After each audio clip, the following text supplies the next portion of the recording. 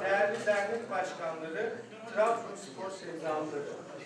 Her şey Trabzonspor'un için dediğimiz güne Bursa Trabzonsporlar Derneği Yönetim Kurulu adına hoş geldiniz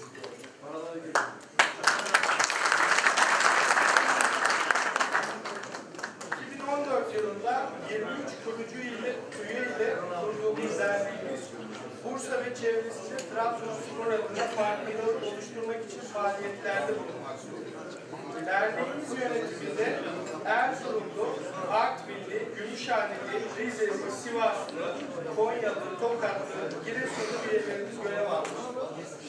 Bizler büyük Trabzonspor için onların ne kadar değerli olduğunu farkındayız. Nazik davetiniz için çok teşekkür ederim. Hassasiyetiniz ve Trabzonspor'umuza özellikle bu içinde bulunduğumuz süreçte göstermiş olduğunuz ilgi ve alakadan dolayı hepinize ayrı ayrı teşekkür ediyorum. Gittiğimiz her yerde, hemen hemen her yerde aynı ilgiyle karşılaşıyoruz.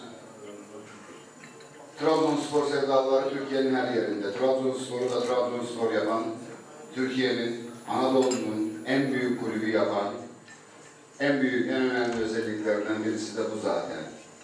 Ağrı'dan Muğla'ya, Antalya'dan Sinop'a, Çorum'dan Kars'a, Mardin'den Muş'a kadar sadece taraftar değil, aynı zamanda delege, delegeye de sahip olan bir kulüp Trabzonspor'umuz.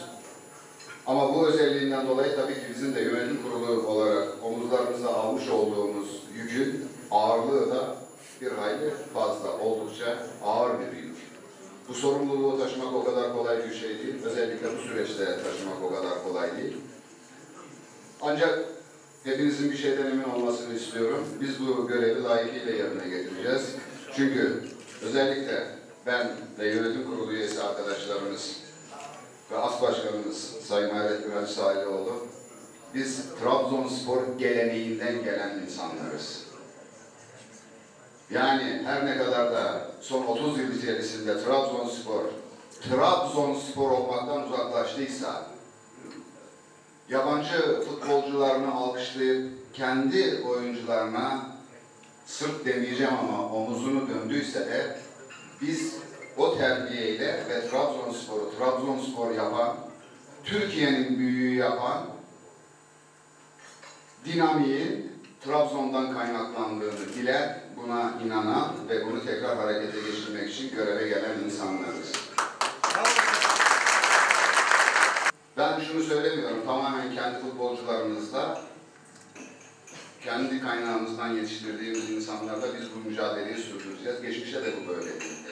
Orhan Çıkırçılar, Abdullah Ercanlar, İskender Gönenler, Mehmet Ekşiler, Çaycı Ahmetler, Necdetler, bunların hepsi Trabzonspor felsefesini benimseyen, Trabzonsporluluk ruhuyla oynayan, nasıl ki bugün Ağrılı, Mardinli, Muşlu, Trabzonspor felsefesini benimsemiş delegelerimiz varsa, aynı felsefeyi benimseyen futbolcularla gelir gider dengesini sağlayan bir takımla biz yine önümüzdeki süreçlerde şampiyonluğun en büyük adayı ama örnek adayı olacağız. Oynadığımız futbolla ve kulüp yapımızla.